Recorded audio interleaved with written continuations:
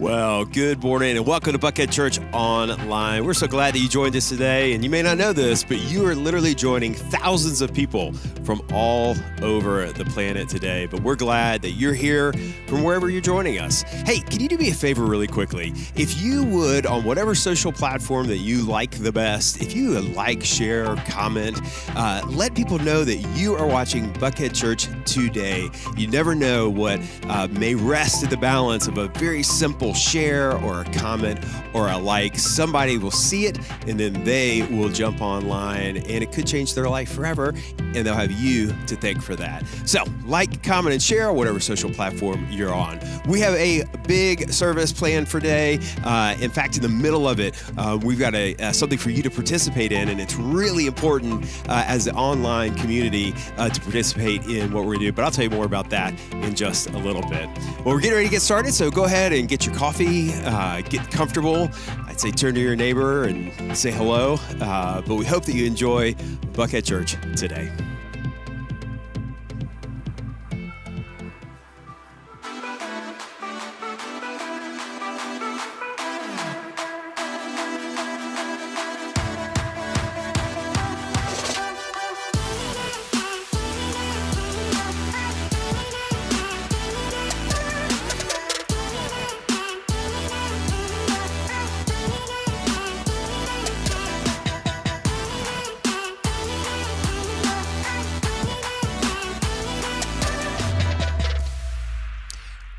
Good morning and welcome to Buckhead Church. So glad to see you this morning. If you're joining us online, glad to see you as well. If this is your first time with us, you are our special guest, and we're so glad that you chose to spend the next hour uh, with us. Hey, we've got a very full service today, but I did want to mention one thing. We're in a season of connection right now. In fact, a couple of weeks ago, we connected almost a thousand people into small groups, which is so fun and so exciting. But we realized that not everybody had an opportunity to connect that wanted to, and we wanted to create as much space as possible for everyone uh, to do so. So today we're launching short-term groups, uh, and short-term groups are affinity-based groups. Uh, they run about eight weeks, and it is the perfect opportunity to learn something new and to meet somebody new. And after eight weeks, if you don't love it, you can start all over. It's going to be great. So, short-term groups launch today. You can get there by going to buckheadchurch.org slash the hub or clicking on the QR code just to the right there. Well, we're going to dive in and sing a little bit this morning. Tommy's here. Tommy, come on up here real quick. Tommy, uh, Tommy came in about 45 minutes ago on a bus. And so Tommy has been in Florida all week, uh, or at least last last night, uh, but he's here this morning and he's awake and he's ready to go. Uh, and, but we need your help as well. We want to make sure Tommy knows we're all with him. So if you're willing and able to stand, would you stand and let's uh, say hey to somebody? Welcome to Buckhead Church. Tommy, take it away. Good morning, you guys. Good morning. Come on, let's sing about his faithfulness. Because that is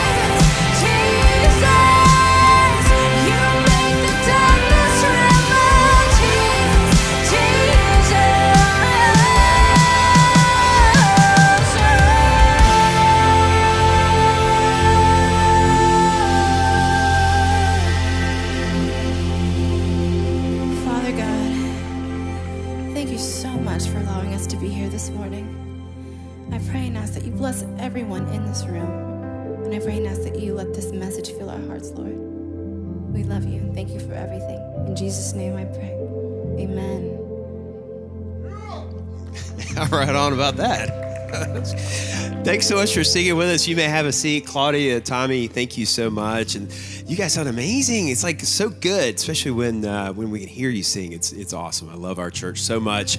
And um, if you were here, joining us last week, you know that we kicked off a brand new series called Ekklesia. Uh, today is week two of that, and the series is all about well you. It's about us. It's about uh, what we call our church that Jesus actually called his gathering.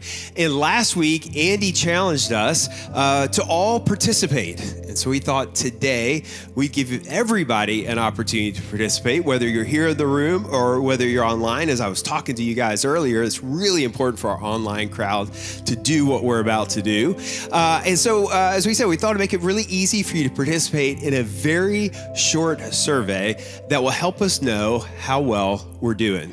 Now, it shouldn't take more than two or three minutes, and we're going to do it right now. I know this is a little bit different, but we're going to do it right here in the room. That we have a, uh, everybody here, uh, and we'd love for everyone to take it, uh, so you so we can get as much feedback as possible. Now, um, if you've only been coming for a short time, or maybe this is your first time and you're brand new, and you're thinking, "Well, I don't really have anything uh, to add that's helpful," that really couldn't be further from the truth. We would love to have your feedback. It's very significant and important to us.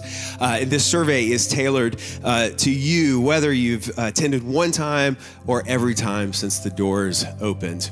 So, um, we're going to ask you some questions about your participation, uh, how uh, the leadership is doing, and inspiring you to follow Jesus. And then we'll gather just a little bit of demographic information at the end to make sure that we're serving uh, every group as well as possible. So, Let's do this together. If you'll go ahead and take out uh, your phone, your device, uh, you, we're going to put a QR code up here on the screen, uh, that will help us get started. Uh, and then after about three minutes or so, uh, we'll dive into part two of Ekklesia. Thank you so much uh, for helping us out. We want to make the best experience for all of you. So thanks.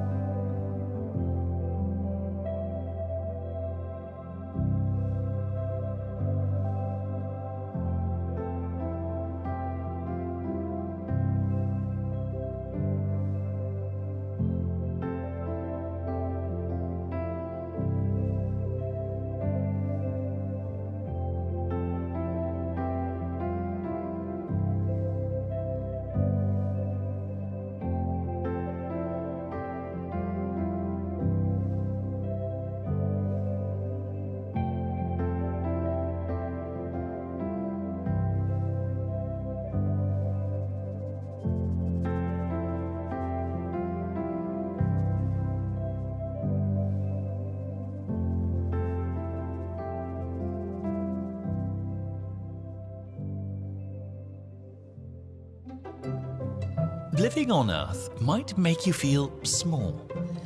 You're just one of 8 billion on this blue cosmic ball. So many characters with their roles to play. Perhaps many, if not most, still finding their way.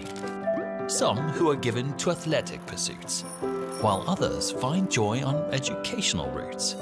Those who build and those who farm. Those who sell widgets using their charm. But aren't we more than what we do? Being one of 8 billion should give us a clue. On our own, it's difficult to make a big dent. Brokenness and need refuse to relent. Perhaps we were designed for a much grander endeavor, not toiling alone, but pulling together. The planet is large, this much is true. But when God calls his people, there's so much we can do solve the world's problems. That does sound absurd. But maybe we can start with this strange little word.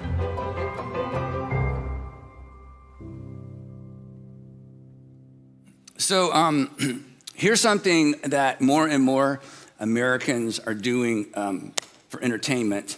Um, predict outcomes for money, aka gambling. But I just thought this was such a heavy word to start the sermon with, so we're just going to go with predict outcomes for money.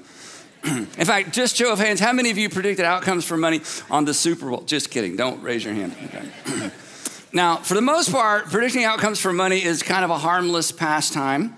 Um, for others, though, it's a very harmful pathway and um, I, I, I, don't know. I think wisdom says you don't know until you start. And then once you start, you realize, uh oh, it's not the same for me as it is for everybody else. And maybe it's just not wise to start. Um, so I don't mean to make light of that. But the reason I even bring it up, other than just to get your attention, is this. And this is pretty amazing. This may be new for, for some of you. I don't know. Jesus actually predicted some outcomes, but not for money. In fact, nobody, and I mean nobody, would have put any money on any of his predictions because they were really, really bad odds. Then again, they were God odds. I don't know if God odds is actually a thing, but anyway, since he claimed to be the Son of God, they were pretty good odds. But in the moment when Jesus began predicting things, nobody would have put any money on any of his predictions. They were just crazy. But as it turns out, all but a couple actually came to pass, which should lead us to believe that perhaps the ones that have not yet come to pass will, in fact, eventually come to, to pass. Now, my favorite um, prediction made by Jesus, in fact, you know, a lot of people use the word prophecy, so we can use that. You know, the, my favorite prophecy in, in the New Testament or early in the whole Bible, but specifically my favorite Jesus prophecy, my favorite Jesus prediction about the future is actually us the church, or the word he uses, his ecclesia. In fact, as we talked about last time as we began this series, standing in the middle of literally nowhere, surrounded by a bunch of nobodies, at least culturally speaking, they were a bunch of nobodies. Um, Jesus asked them, if you'll remember, he said, Hey, guys, what's the word on the street about me? What are people saying about me? Which is not a safe question for most of us to ask, unless you want to get your feelings hurt, okay? So I don't recommend the question. But Jesus is like, Hey, what are, what are people saying about me? And if you'll remember, Peter answered correctly. Peter said, Well, I'll tell you who I think you are. Um, I, you know, we can tell you what everybody else thinks, but Jesus said, but Yeah, but what do you think of who, who do you think I am? And Peter says, I'll tell you who I think you are. I think you're actually the king. I think you're God's final king. His word was, I think you're Messiah, the king. I think you're actually the son of God. And Jesus replied to Peter and the guys, Yes, that is exactly who I am. And then he looks at Peter and he says, Now let me tell you who you are. And I tell you that you are Peter. And the Greek word is like a rock, a little stone. He renames him, basically, he renames him rocky or literally stony or pebbly. I, that pebbly is not a, a great word, nickname for a man. But anyway, so he says, I'm giving you a new name. And then he says this, and on this rock, and he uses a different Greek word. He uses the word Petra, which is like a huge outcropping of rock, the side of a mountain. And he's referencing Peter's answer to the question of who do you, who do you think I am? When Peter said, I think you're the Christ, and the Son of the living God, Jesus is saying, You're exactly right. And on that foundation, on that outcropping of immovable mountainside, on that foundation, that Petra, that bedrock, that massive rock foundation, I will build my ecclesia, my assembly, my people. My people with a purpose, my people who will be a movement, people who will gather in my name to execute my mission. And guys, just in case you're wondering, because they're looking at each other like, is he crazy? Have we been out in the sun too long? What you, he's talking about a new movement. He said, and my death, or the gates of Hades, talking about his own death, or death in general. And the gates of Hades will not overcome it. In other words, he's saying, guys, even when I die, that's not the end of my movement. Even once I'm gone, my movement goes on. And not only was his death not the end, I mean, here we are. His death and resurrection actually launched the movement. Now, again, because of where we are and where we live, it's hard for us to get our minds around this and emotions around this. This was crazy talk. In fact, it's not just crazy, it's dangerous. Pitting himself against the religious establishment and the Roman Empire, which is exactly what he was doing. Because Rome, Rome did not like new movements. Every 50 years or so in that region of the world, some crazy person would come along and claim to be a Messiah and gather a following. And Rome would have to execute hundreds of people to quell that rebellion. There was always somebody claiming to be a Messiah. And here's Jesus standing out there in the middle of nowhere, surrounded by these guys, basically saying, It's going to happen again, but this time it's for real. Again, pitting himself against the religious establishment and the Roman Empire, no way way. It happened. Here we are. My favorite, Jesus prediction. Us.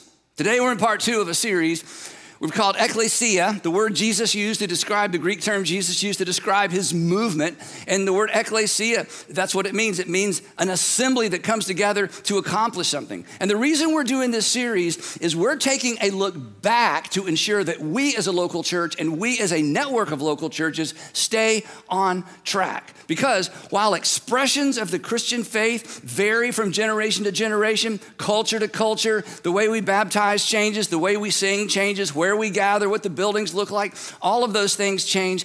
There is a core that never, ever changes. Jesus' original intent for his assembly, for his movement, has not changed. And we can't afford to lose sight of that of, of, that original idea of his original charge to his original first century followers. If we veer away from that, we get into trouble and we misrepresent Jesus to the world. Because here's what we all know from either personal history or just knowing a little bit of church history. When the church veers, things get weird, right?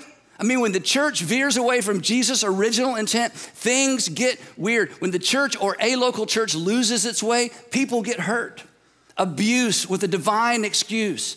People get hurt in Jesus' name, and God's name gets stamped on behaviors that God finds despicable. And there's always a chapter and a verse there's always a chapter and a verse to support that despicable behavior. But then along comes, as we talked about last time, someone always comes along or a group always comes along and says, Not on our watch. That was not Jesus' original intent. And we're calling the church back to what Jesus originally had in mind when he launched his assembly, his ecclesia. Now, why is this important? And why is it important for us to talk about it for a few weeks? And here's why. Because in our communities, whatever church you're in, in your communities, we are stewards of, or maybe a better word is, we are responsible for the church in our generation. And we're responsible for what the next generation thinks about when they think about church. Think about it. You're a Christian. If you're a Christian, when you're in the marketplace, when you're at work, uh, when you're at home, when you're at school, wherever you are, if you're a Christian, you represent what Christianity is.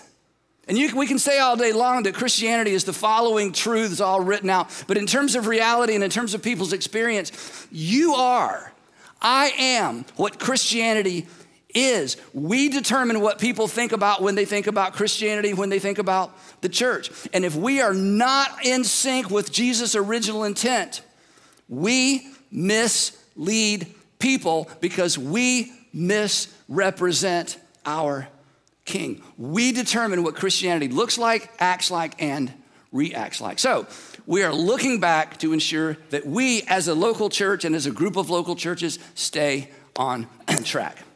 Any questions so far?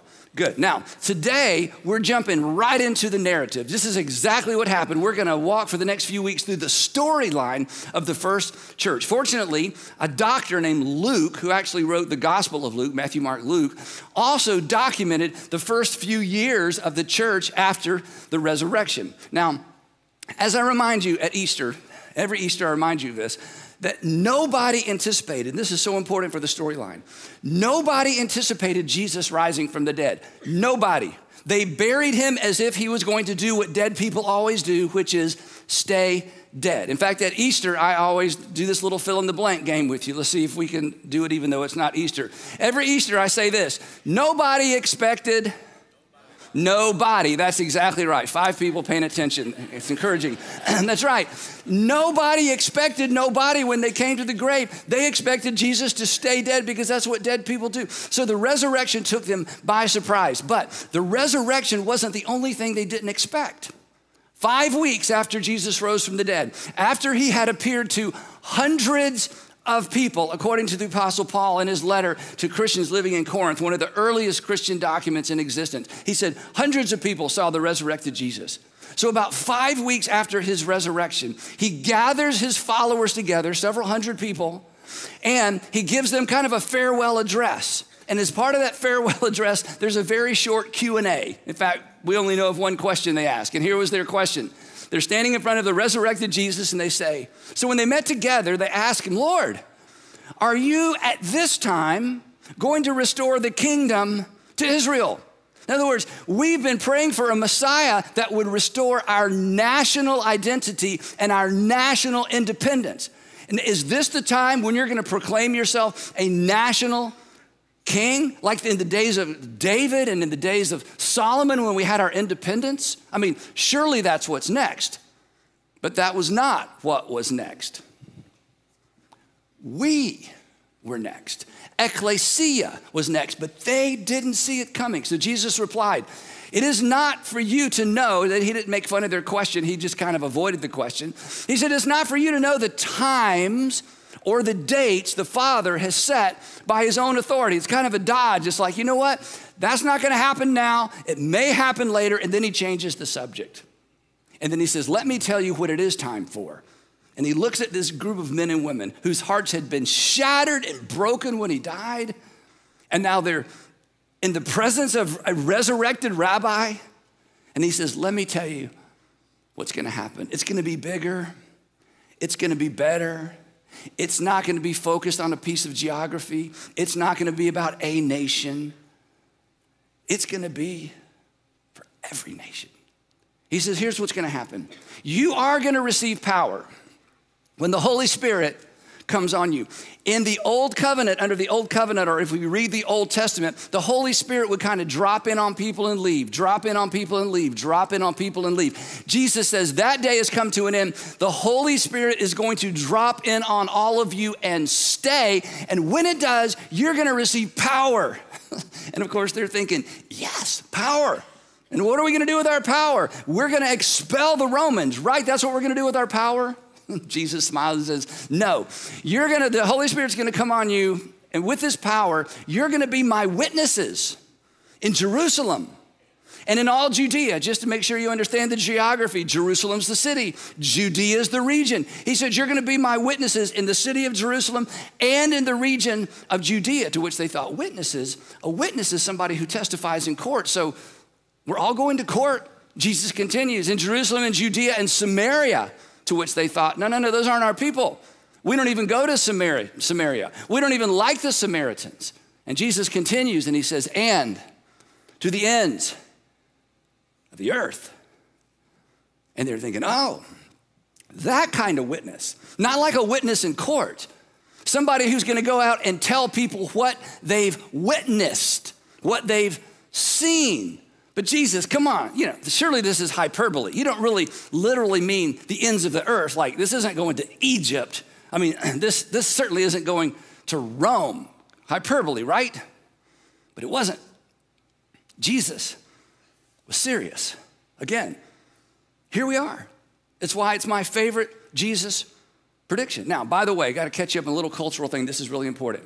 In our culture, we think about a bunch of different religions, and people sometimes swap religions. They leave one to join the other. That was that was unheard of in the ancient world. People didn't leave religions. There was no such thing as religions in the ancient world. There were just regions with gods, and then people had household gods. And if you move from one region to the next, you would bring your household gods. You may secretly worship the god of your original region, but then eventually you would begin to worship the gods of of the region you moved to. This is how everybody thought in the ancient world. Everybody had their own God. You worship your God, I'll worship mine. And Rome didn't care who you worship as long as you obey Caesar. But the problem was the Jesus movement didn't work that way. The problem with the Jesus movement is that it wasn't a you might also like.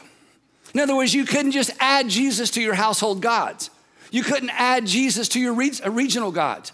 This was a either or proposition. Either you worship the pagan gods or you chose to worship Jesus and God and Jesus Father as your one and only true God. So here's what was amazing.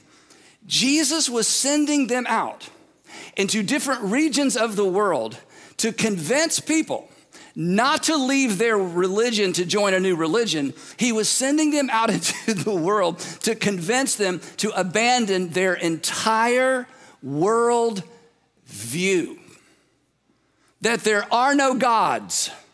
Even though your parents thought there were, and your grandparents and your great grandparents, in other words, everybody you know assumes there are many gods.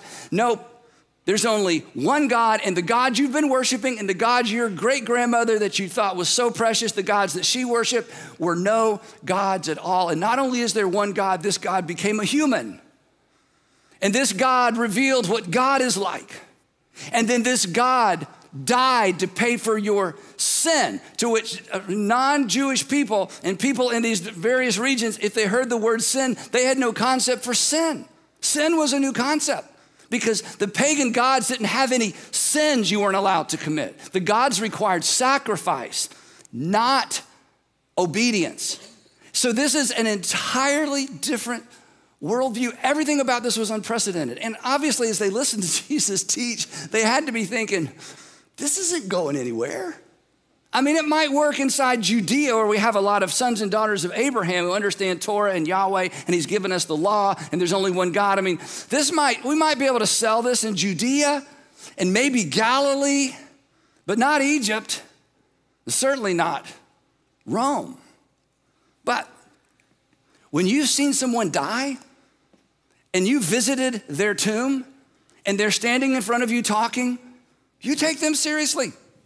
And so, even though they didn't understand it, even though there's no way they could comprehend what Jesus was saying, they're like, okay, whatever you say. So, he sends them back to Jerusalem. And then Luke tells us what happened next. This is amazing. The text says this Luke says they all joined together. Now, Luke knew all of these people. That's why he has all this detail, and he's about to give us extraordinary detail. In fact, one of the amazing things, if you're not a Christian, if you're not a Christian or you've all, you know, you've heard all kinds of stuff about the Bible. In fact, you have a strong opinion about the Bible, but if you're honest, you've never read it. But you are sure you know what it is and isn't. And I get that. There's a lot of things I have opinions about that I don't know anything about. I'm like you. I read the headlines of a story and I think I'm educated and I start talking about it. Somebody's like, Did you read the article? No, I read the headline. I'm, I'm fully informed. Okay, so we, we all do that. I get that.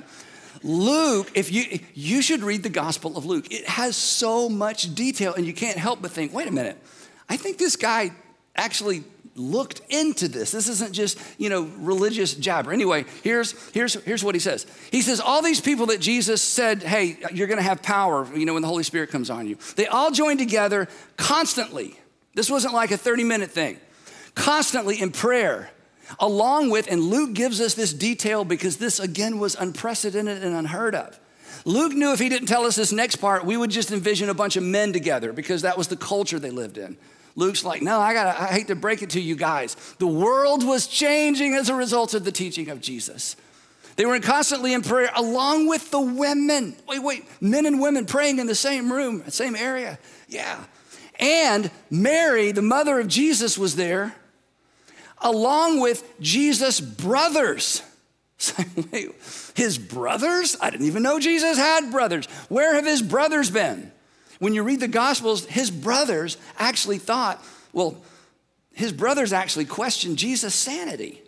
But again, before you're too critical, if your if your older brother decided he was God's you know gift to humanity or the Messiah, you think your brother lost his mind as well. They just thought Jesus was kind of crazy. But here they are praying, waiting for Jesus to fulfill this promise. What happened? What changed their mind? Not his teaching, his resurrection.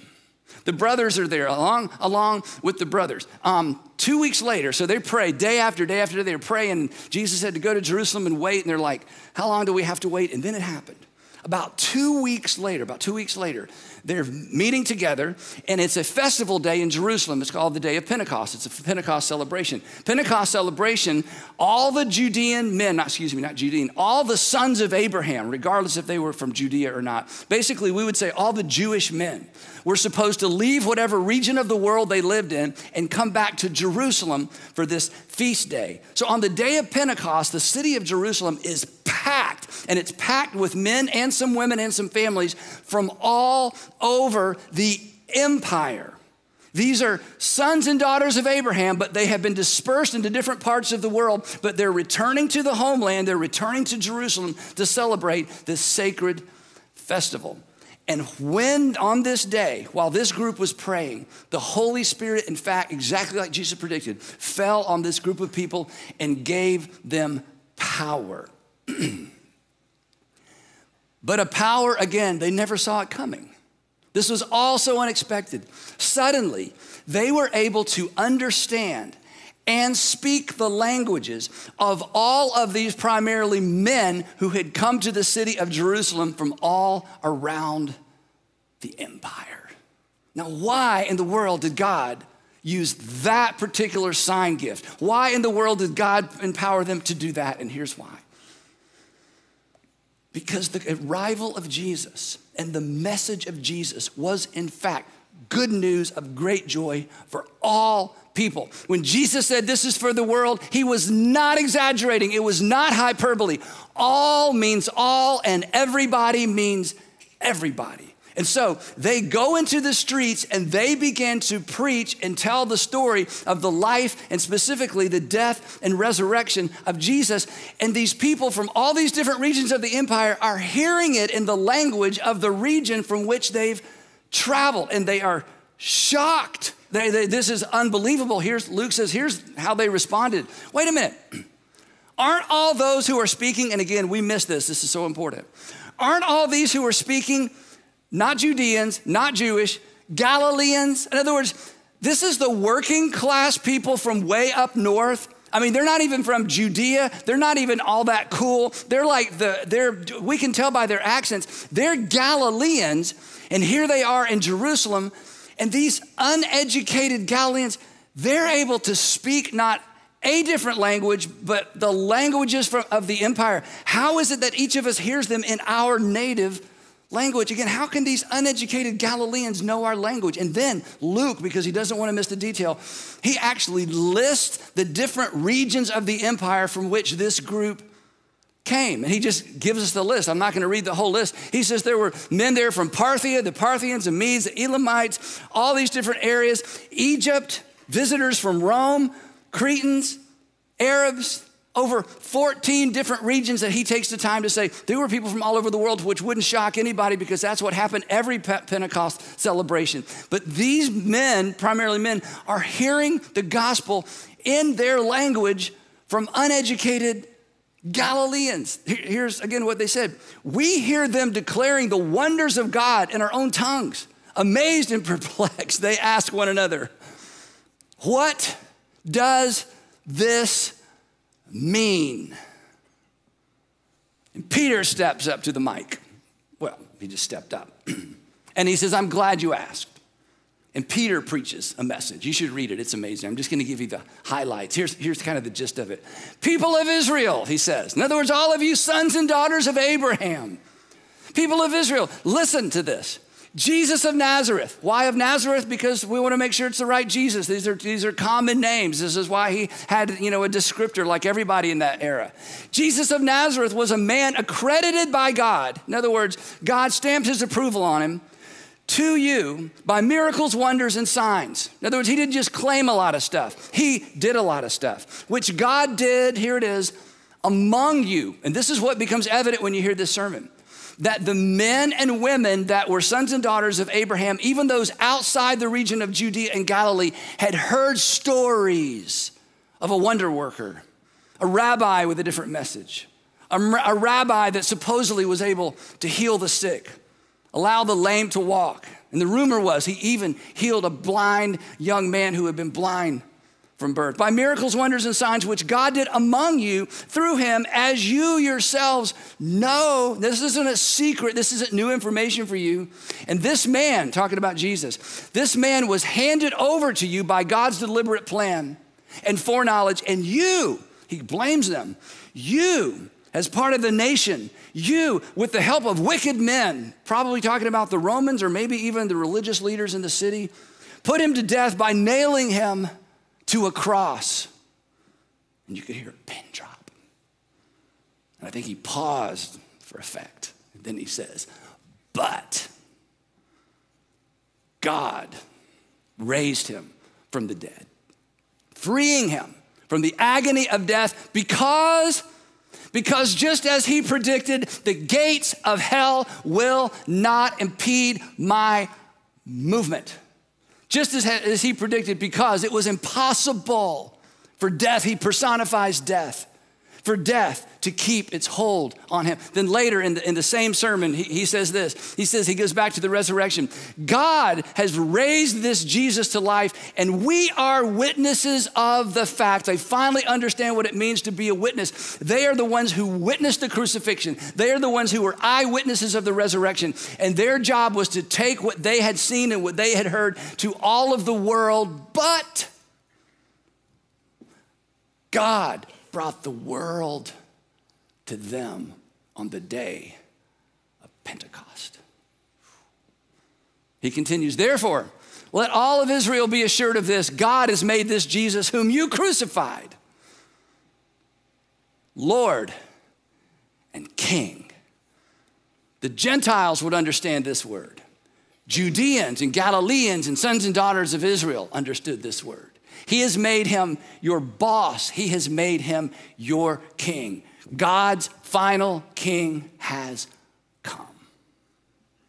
And Luke tells us, because Peter was there, Matthew was there, Mary, the mother of Jesus, was there. There's all these witnesses to this event. You couldn't make this up. When the people heard this, when the people heard this, they were, I love this phrase, they were cut to the heart. You know what that means? That means all of their resistance evaporated.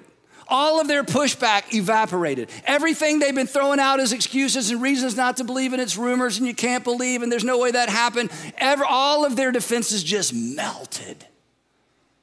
And said to Peter and the other apostles, Brothers, what shall we do? And Peter replied, Attend church regularly. no, that wouldn't have made any sense. This isn't a building, this isn't an event, this is a movement for the world. Peter replied, You need to believe a list of propositional truths. And we're going to start a class this afternoon. And there's 15 things you need to understand, and there's subpoints between. No. Because this wasn't about a what, this was about a who. He said, Here's what you got to do. Peter replied, Repent change your mind, and be baptized, every single one of you, in the name of Jesus Christ for the forgiveness of your sin. Now, this is so important. Don't, don't move, don't leave. Listen. The men, primarily men and women, in this audience were good people. These weren't wild and crazy sinners. When you think of a sinner, you're like, I'm not a sinner. I know some sinners. I'm not. There's not those people. The, these men and women were so devout, such great law keepers, so committed to Torah, they actually spent money to travel to Jerusalem for this festival. These are really, really good people. So, why in the world does Peter say to them, You need to repent of your sin and ask God to forgive you? What, what, what sins is he talking about? He doesn't even know these people. What's he referring to? What sins? All of their sins. all of their past sins, all of the sins they thought got forgiven because they sacrificed an animal, they sacrificed a dove, they sacrificed a lamb, they fa- sacrificed a ram, all of their sins. He said, No, no, no, no. Those days are over. The temple days and the temple ways are over.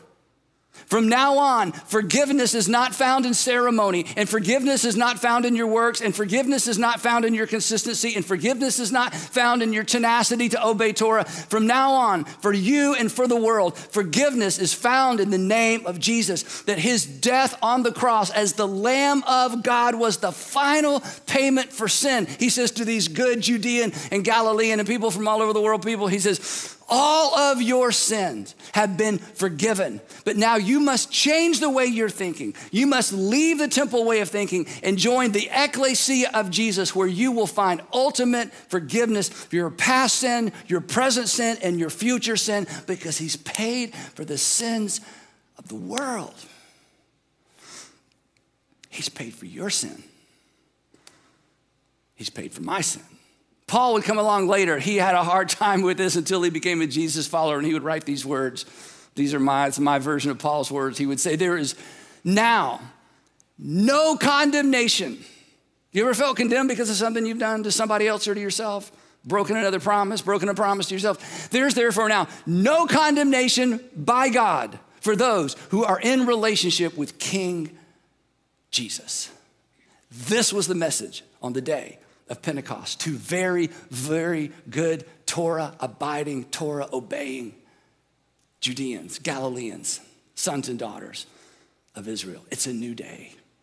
There's a new way. There was nothing wrong with the old way, but something new has come. He says, and when you do that, you will receive, and this meant so much to this group of people, then you will receive the gift of the Holy Spirit the promise and now he talks about me. And now now peter talks about you. This is amazing.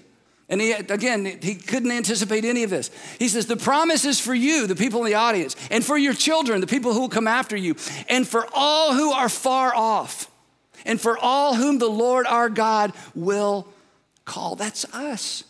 We were we're far off geographically.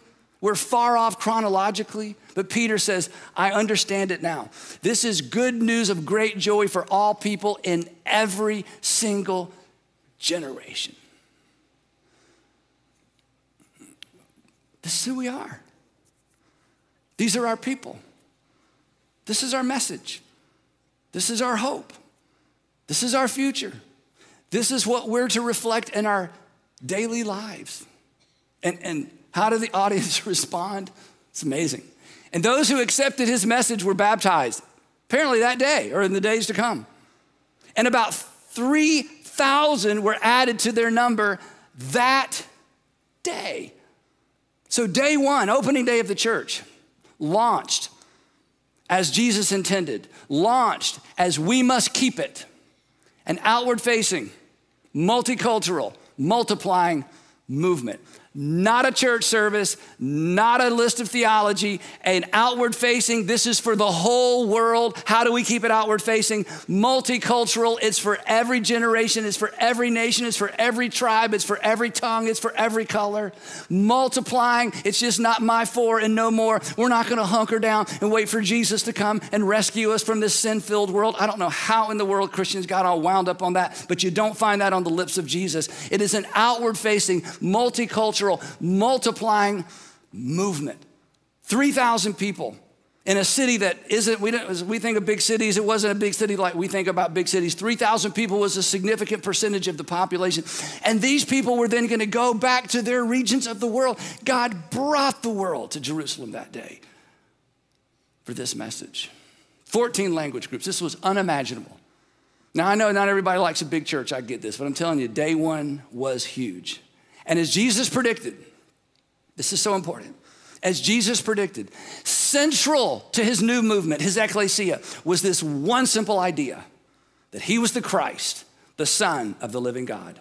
The thing that held it all together, the glue, the epicenter, the centrality, the thing that can never be tweaked or changed is that he is the Messiah, the King, the Son of the living God. And this new movement was anchored to one indisputable event his resurrection. Which brings us back to us. So what? Now what? Here's what repent. Repent. Repent. You, me, repent. Acknowledge Jesus as your king, acknowledge Jesus as your Lord, and submit to his lordship. And then be baptized. You need to be baptized because baptism is how we publicly acknowledge that we're part of the movement of Jesus. Baptism is how we publicly acknowledge that we're in, that we have decided publicly to follow Jesus for the forgiveness, for the forgiveness of your sins. And I don't know your name and I don't know your story, but I know you're a sinner. And here's how I know that because you've hurt somebody. You've hurt somebody that God loves, which means you've offended God. If you hurt my children, you don't just make it up with my children, you got to talk to me. Not only have you offended people and hurt people that God loves, you've hurt yourself who God loves. You, you have a debt that you can't pay that you owe other people. But you have a debt that you can't pay to your Heavenly Father because the only way to make it right is to go back in time and undo what you've done. And you can't do that, which means you're stuck. And I'm stuck. And we're stuck. And the world was stuck. And then Jesus came and paid the debt that you cannot pay. And the invitation that day and this day is to accept that gift, the gift of forgiveness. And when you accept the gift of forgiveness, you will also receive the gift of the Holy Spirit who will empower you to live the life that God has invited you to live. And if you're ready, if you're ready, if you're ready, He's ready. So, what I want to do, just as Peter invited that initial group, that original group, to respond immediately, I'm inviting you today, whether you're watching online, whether you're at one of our churches, whether you're sitting by yourself or driving somewhere and you're just listening, I want to invite you today to do exactly what it says. I want you to repent. I want you to change your mind about where you stand with God and who you think Jesus is. And I want you to decide to publicly, publicly align with the ekklesia of Jesus to live this out in such a way that people understand what the church is and who the church is that you'll accept forgiveness for your sins and acknowledge that you need forgiveness. And when you do, you will receive the gift of the Holy Spirit who will empower you to live the life that you have been invited to live. So here's what we're gonna do. In just 15 seconds, I'm gonna ask you to bow your head and close your eyes, and I'm gonna lead you into prayer.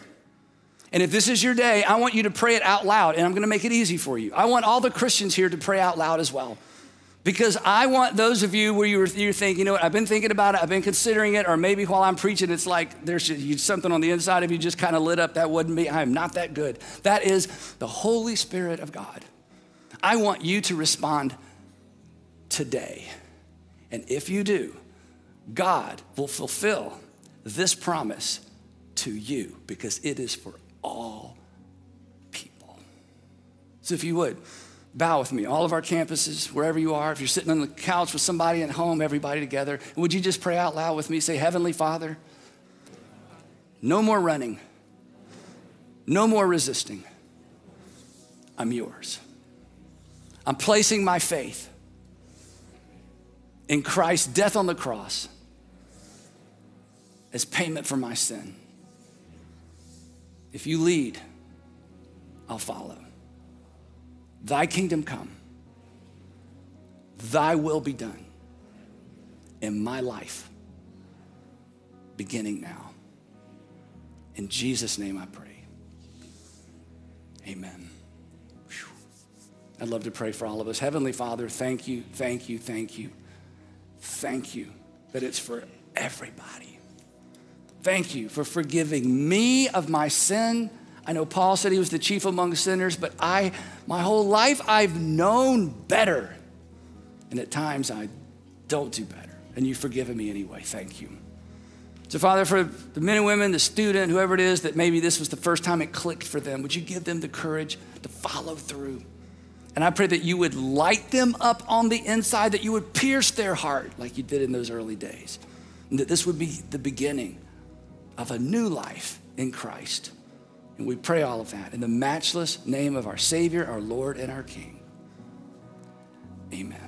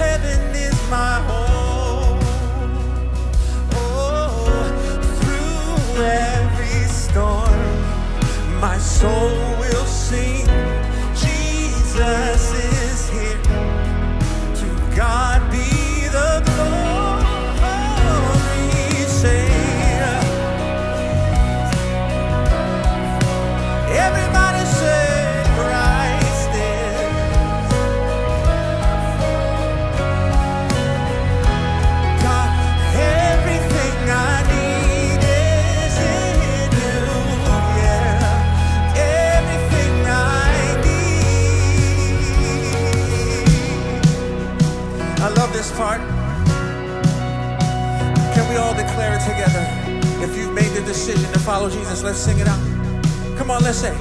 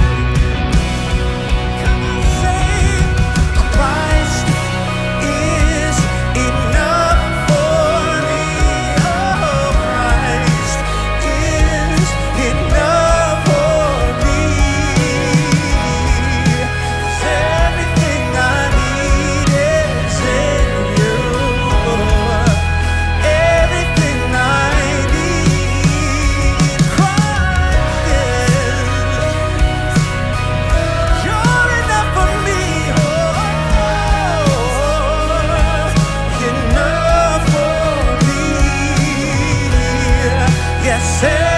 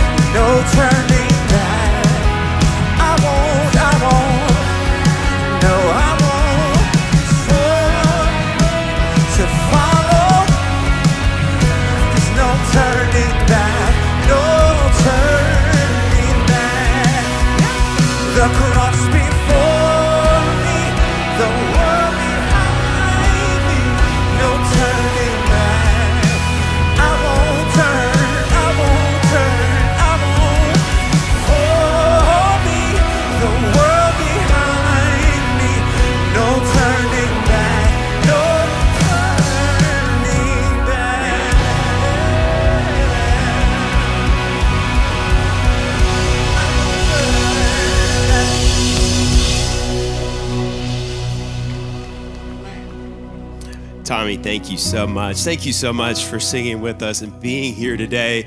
Uh, it, today was the day that you made a decision to follow Jesus. Welcome. We're so excited for you. And we know that many of you, you hear a message like that that may raise questions, uh, questions about baptism, or, or maybe even just questions or doubts or fears that all of us have had at one time or another. If you go to the hub today, you can find out about baptism, but you can also find out about Starting Point. Starting Point is a short term group that is the best place to begin a conversation around the doubts and fears and questions that you have. We'll see you next week for part three of Ekklesia. Until then, have a great week and thanks for being here.